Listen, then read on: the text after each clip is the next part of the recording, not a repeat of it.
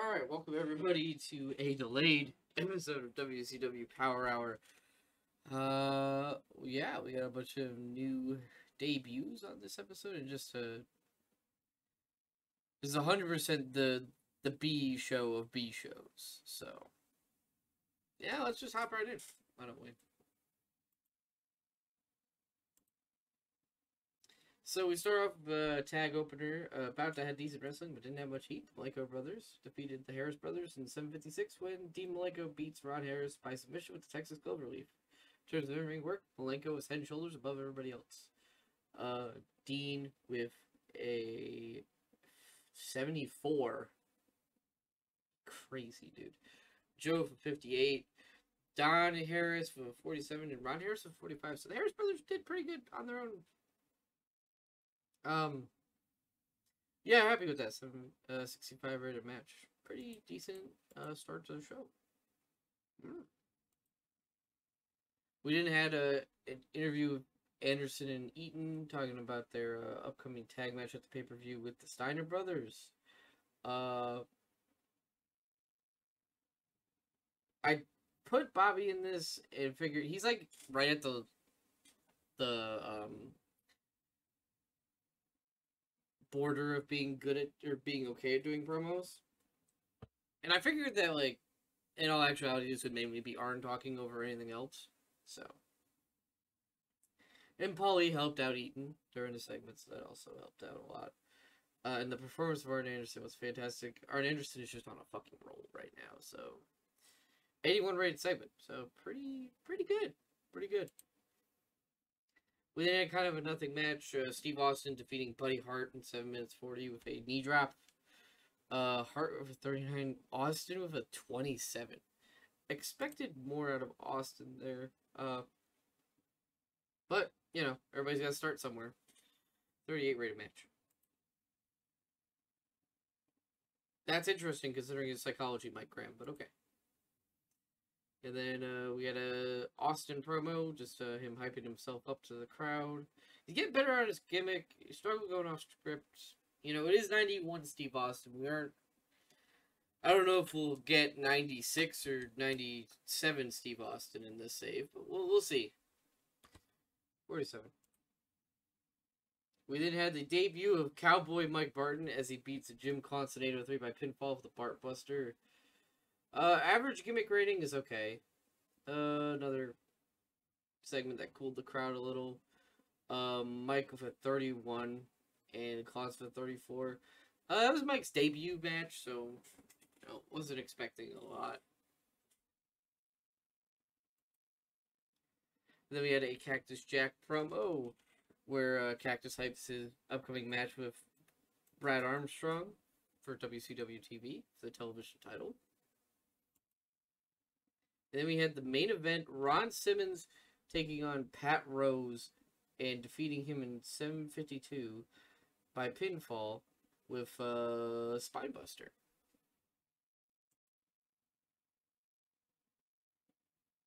And then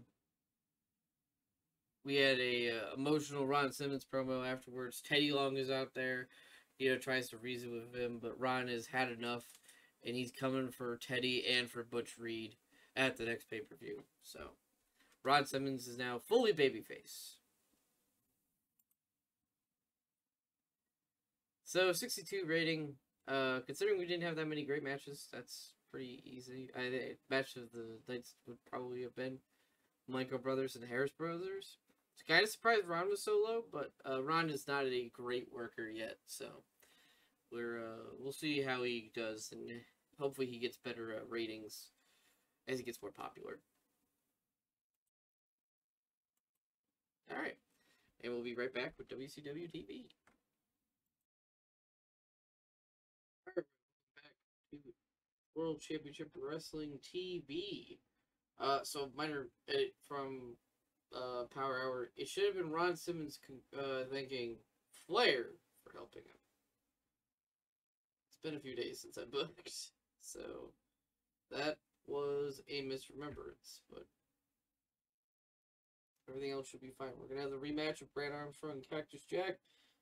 We're gonna have Larry Zbyszko taking on Milton Shaw. with the World Championship online. Let's see how it goes. Let's save again, and let's run the show.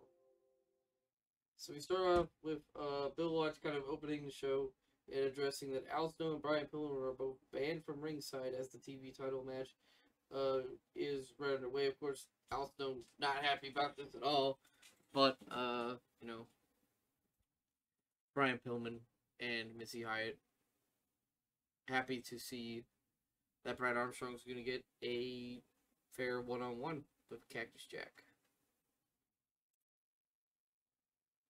Then we had a decent match, Brad Armstrong defeating Cactus Jack at 8.15 by pinfall with a quick roll-up. It was Brad Armstrong winning the TV title. Brad with 58, Cactus with 65. So, pretty good match from the two of them. Not bad. Not bad.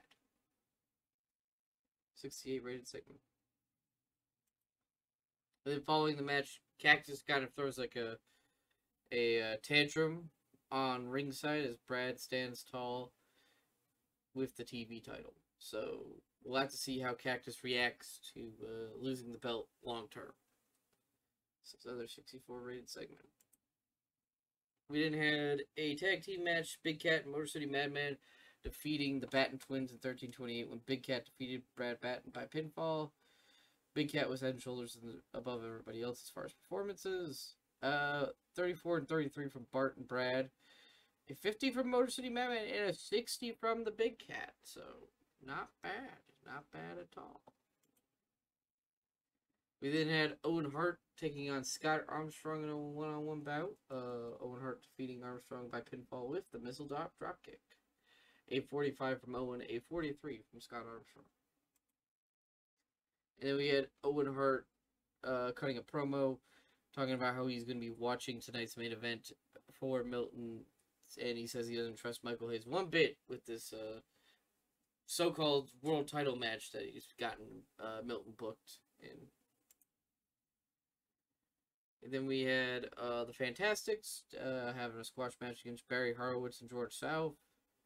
Uh, Fulton pinning George South by pinfall with a fantastic flip. 55 from Tommy, a 59 from Bobby, 36 and 33 from George and Barry. Then we had a winning calculation promo, just talking about uh, their match with the Fantastics at the pay-per-view. Uh, 78 rated promo. Barry, eh, Buddy and Terry are getting uh, fairly over, so. But I, I don't want to get them too over, so I might have them start I think they're good as a long term U.S. tag champs. I just um because they're kind of I'm kind of using them as my Midnight Express almost. Uh, I think that's an apropos term. And then like the, because I feel like heels should hold the belts longer anyway, so they'll probably be U.S. tag champs for a while. I don't see us putting it on the Fantastics. That's for sure. Alright, and then in an acceptable match, we had Ric Flair defeating Butch Reed in 12 minutes 50 by pinfall after a distraction from Ron Simmons. Uh, Teddy Long did some good work at ringside. Flair with a 97, Butch Reed with a 61. Then after the match, we had Flair and Simmons run off Reed, and they embarrassed Teddy as they, uh, you know, both give him one of their big moves, and Teddy, like, sells it and just lies dead in the ring. Um, Butcher invented a new catchphrase. Nice. Butch and Teddy didn't do that well. I'm wondering if they're not performing as well just because I'm kind of pushing them down the card. Uh, I don't think Butch Reed's going to be a main eventer for us. I just don't think Butch Reed at this stage, if he's not in Doom, I don't see him at the main event level. I think he's more mid card at best. Uh, but we could do something with Ron if we play our cards right. So we'll see. Then we had the main event: Larry Zbyszko defeating Milton Shaw in 12:42 by submission with the Larry Landry after interference by Michael Hayes.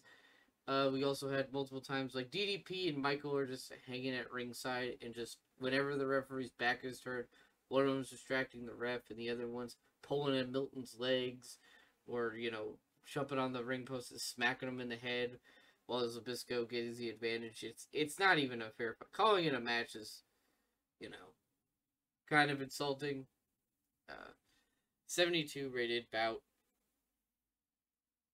In more heat.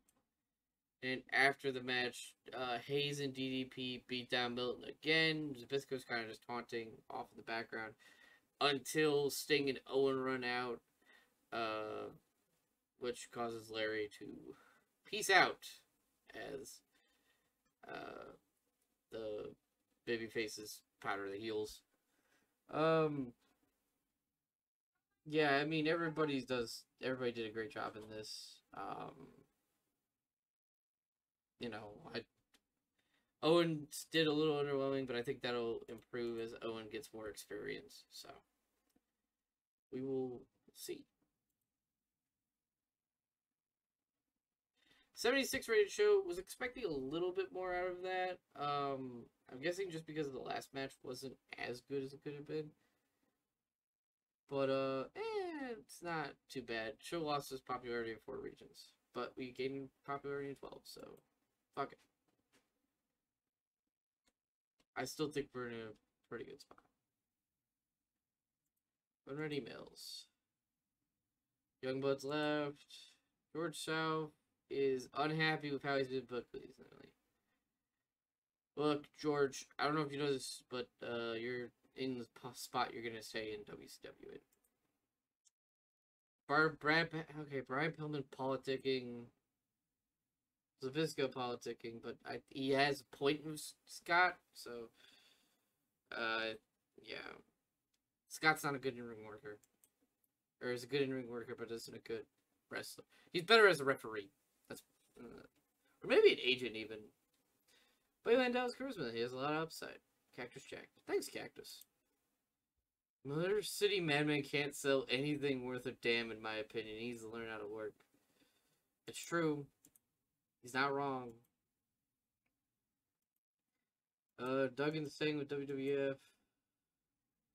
Haruka Eigen might be on his way out of All Japan. Huh.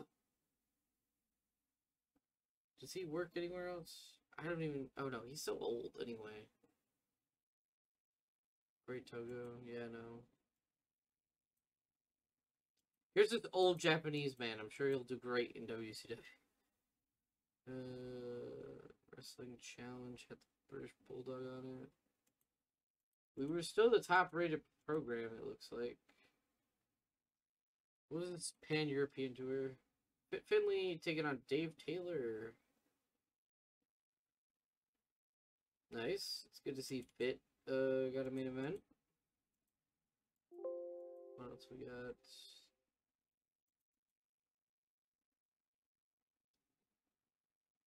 Team Bandit defeated Demolition. Yeah, that's Davy Boy and this Davy Boy and Tony Atlas, I think. Oh, Jimmy Garvin got hired somewhere. Maybe New Japan's hiring new people. UWF Civil War. Sell out.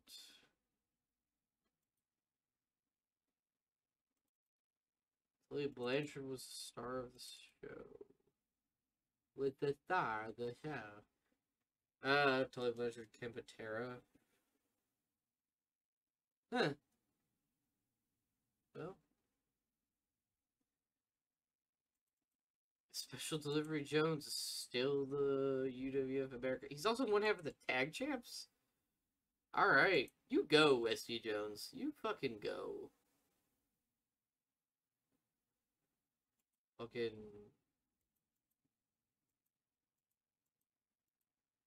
What the hell are his stats? Oh my god. No wonder his man. He's, he's gonna be having. That's a nightmare. Alright, well. Herb Abrams being Herb Abrams as usual. Hmm.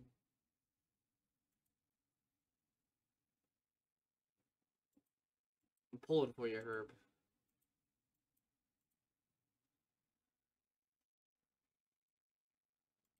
I care about, well, what's, what you said you doing?